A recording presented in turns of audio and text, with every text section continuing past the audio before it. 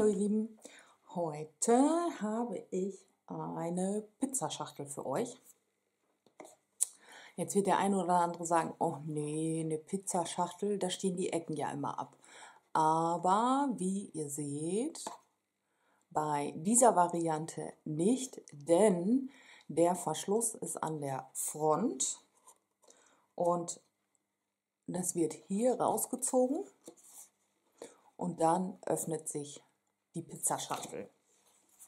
Normalerweise, zumindest habe ich sie bisher immer so gebastelt, wenn ihr die so schließt, werden diese Ecken an diese Lasche geklebt. So. Und dann hat man ja immer das Problem, dass hier hinten diese Ecken abstehen. Und das umgehen wir. Ich zeige euch auch gleich wie wenn wir die so basteln, wie ich sie jetzt gemacht habe. Da habe ich lange dran rumgetüftelt, dass das auch so passt. Und die ganze Box hat zum Schluss ein Maß von 10,5 mal 10,5 und ist 2,5 cm hoch. Ich habe hier wieder verwendet die Eulen und das Designerpapier aus der Celebration. Ich zeige es euch noch mal kurz. Celebration-Broschüre, die Eulen findet ihr auf Seite 4. Die könnt ihr euch schenken lassen ab einem Bestellwert von 60 Euro. Und das Designerpapier Fröhliche Muster findet ihr auf Seite 14. Und das könnt ihr euch schenken lassen ab einem Bestellwert von 120 Euro. Falls dazu Fragen sind, immer her damit. Maße findet ihr wie immer auf meiner Homepage, die blende ich hier unten ein. Und dann legen wir auch schon los. Ich sage euch die Maße natürlich auch noch. Ich habe schon einiges vorbereitet, bis auf die Eule.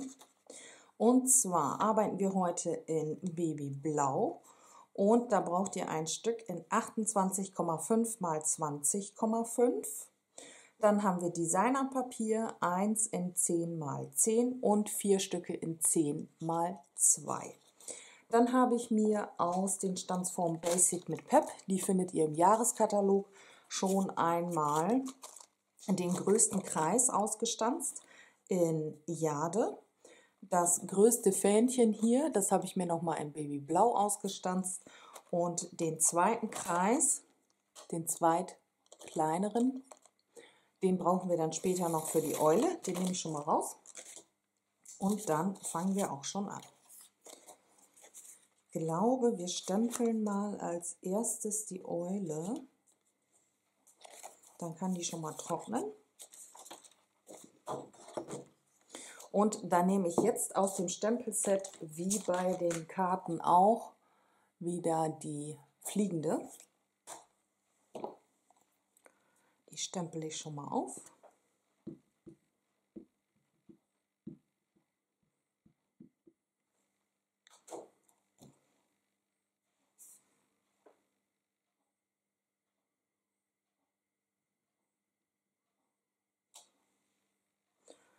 Einmal und auch das Glückwunsch nehme ich hier wieder.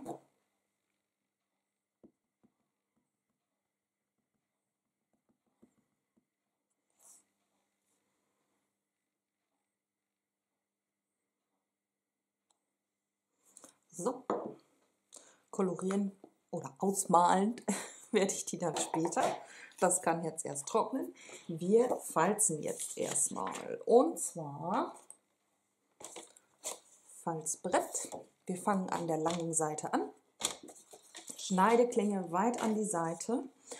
Und als erstes, einmal Ärmel hoch, fangen wir bei 2,5 cm an. Das lege ich rechts an. Dann habe ich hier die Anlagefläche. Also lange Seite als erstes bei 2,5. Dann drehen wir das Ganze und falzen bei 13, bei 15,5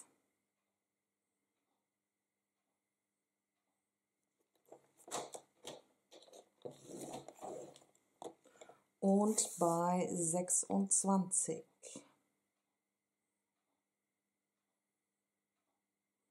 Und dann müssten hier wieder 2,5 cm sein.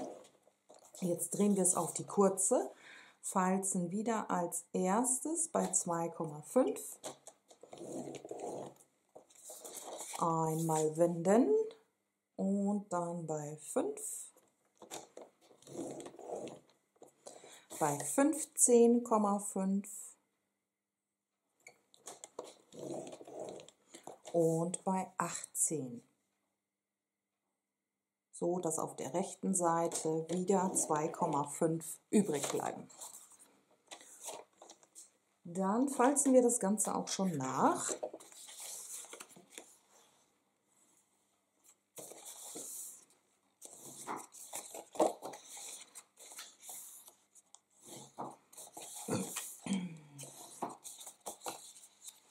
Muss gerade mal meine Stempel an die Seite legen, sonst haue ich mir da gleich den Farbkarton rein und dann ist er schon eingesaut.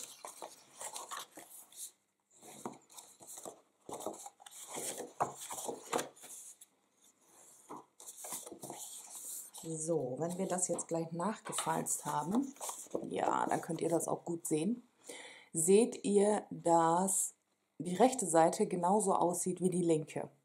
Und jetzt müssen wir noch ein bisschen was wegschneiden.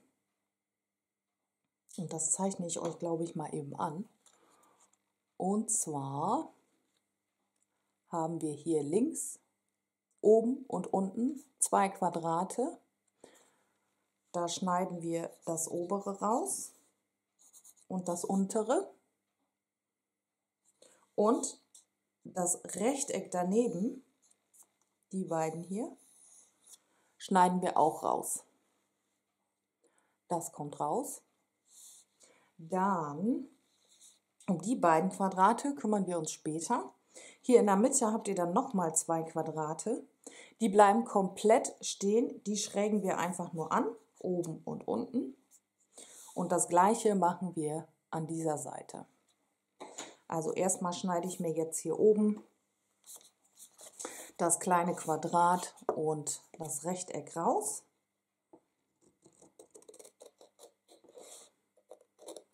Und da schneide ich mir die Wölbung vom Falzen mit weg.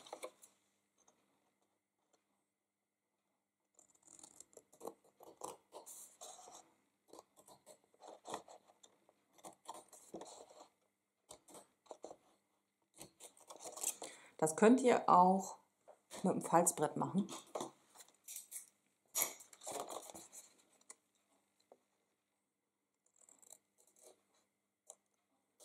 So, einmal raus. Andere Seite genauso. Und dann können wir hier auch gleich weiterschneiden. Wenn es denn möchte.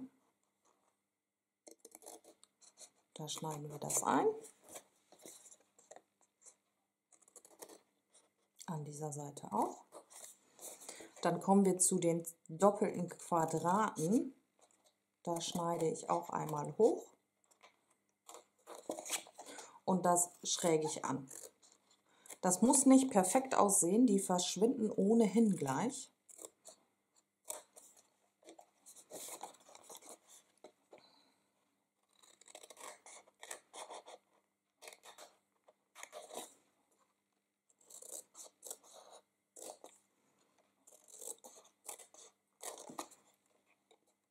Sehe ich noch im Bild? Ja. So, das gleiche machen wir an der anderen Seite. Die beiden doppelten Quadrate.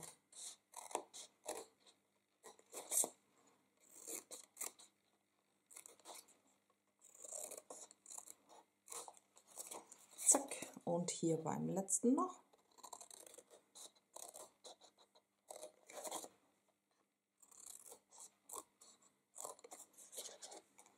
Anschrägen. Dann haben wir zumindest schon mal, so schaut das aus, alles eingeschnitten. geschnitten. Hier mal eben an die Seite. Und jetzt müssen wir uns noch um diese Seite kümmern. Und zwar schneiden wir die auch von dieser Seite ein.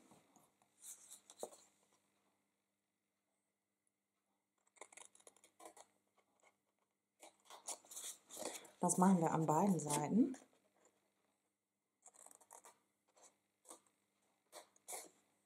Und jetzt müssen wir die Innenseite, also die, die nach hier geht, die schrägen wir an.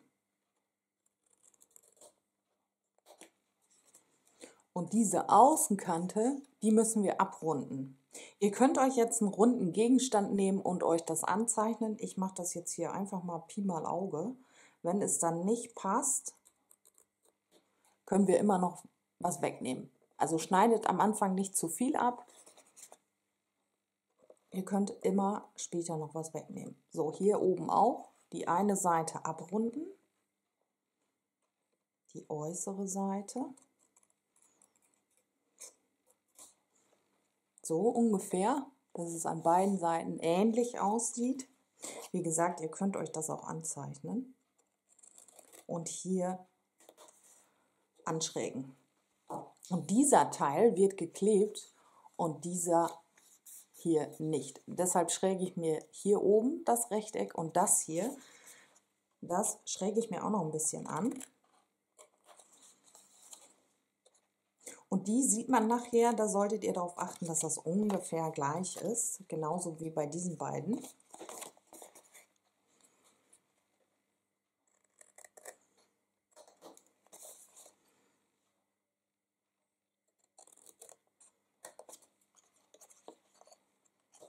So. Und so sieht das Ganze dann aus. Ich drehe es nochmal um. Das ist jetzt die Außenseite und jetzt müssen wir uns von der Innenseite hier unten auf das Rechteck und hier oben, da machen wir uns jetzt Kleber hin. Und zwar nur auf die beiden äußeren Rechtecke, sonst nirgendwo.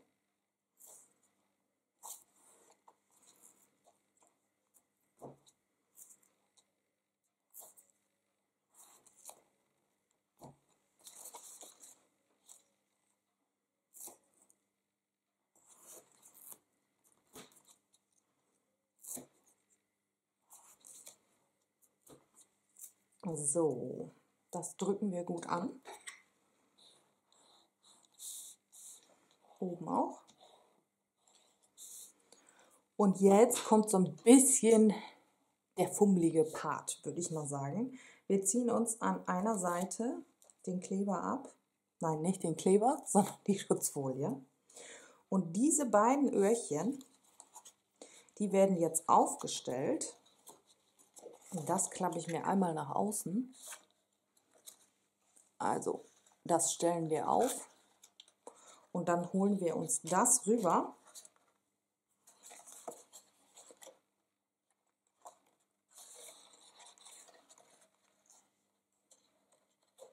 Da müsst ihr jetzt aufpassen, dass es nicht vorher schon klebt. So, und dann müssen wir das von hier oben umklappen. Und das ist jetzt so ein Moment, der ist ein bisschen fummelig weil das nicht wegrutschen darf.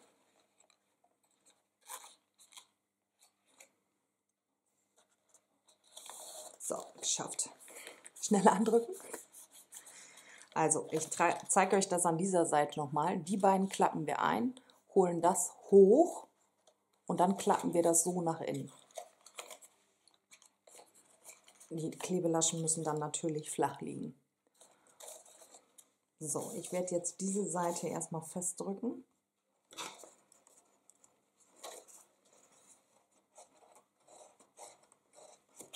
Und dann machen wir das Ganze an der anderen Seite auch.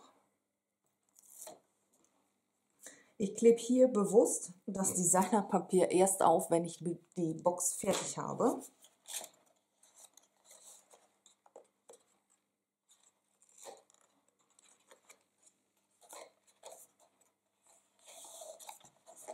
Die zweite Seite flutscht dann etwas besser, wenn die erste erstmal fest ist.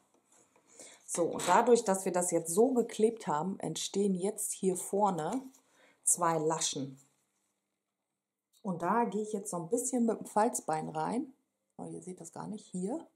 Und dehne das ein bisschen. Macht das vorsichtig, damit euch der Farbkarton da jetzt nicht reißt. Ja, Da komme ich mit dem Falzbein nicht rein. Dann nehme ich den Piekser und dehne das ein bisschen.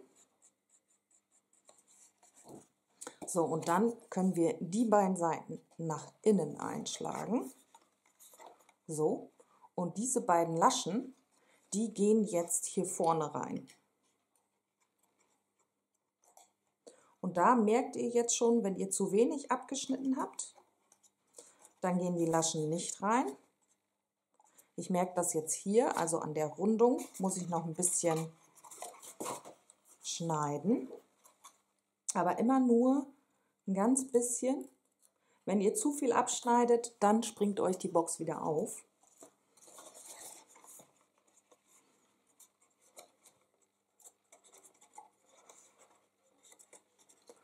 Na, jetzt will es gar nicht.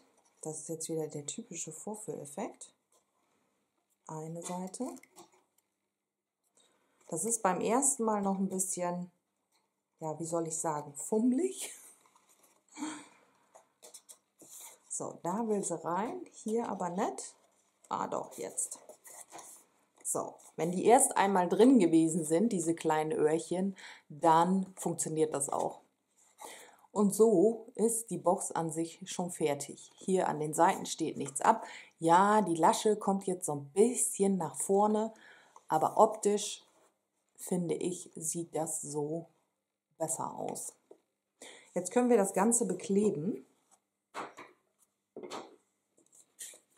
Und da nehmen wir das große Stück für oben drauf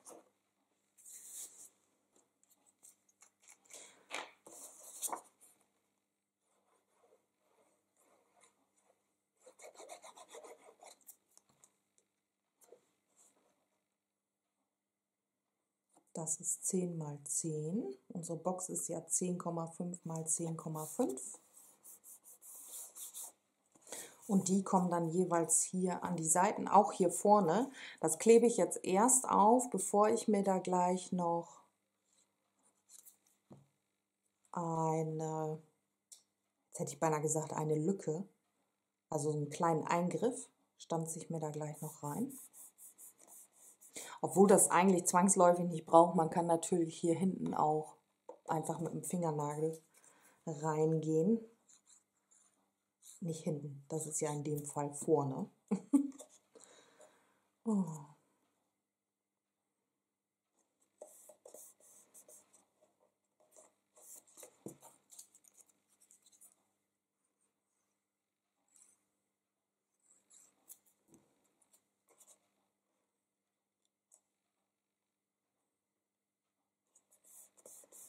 So, und die letzte Seite noch.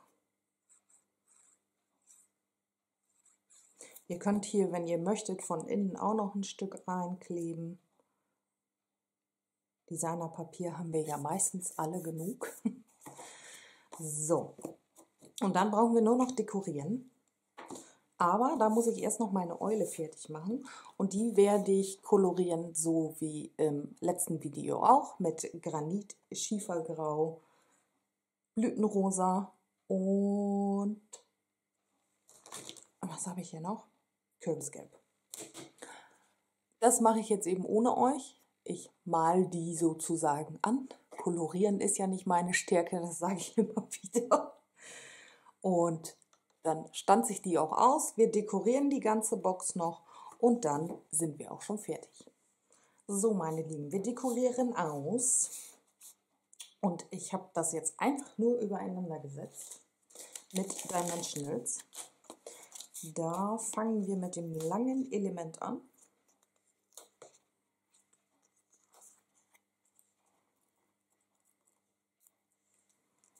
Das kommt in etwa mittig auf unseren Kreis. Dann nehmen wir unsere Eule.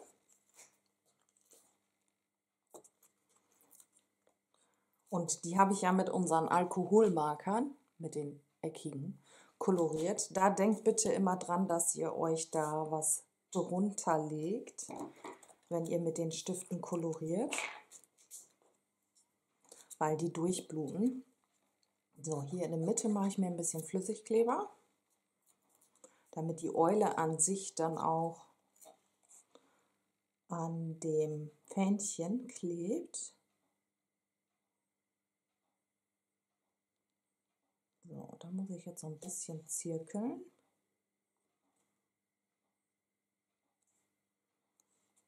So ist das gut. Und das Ganze habe ich dann wiederum nochmal auf Dimensionals gesetzt, damit uns das schön entgegenkommt.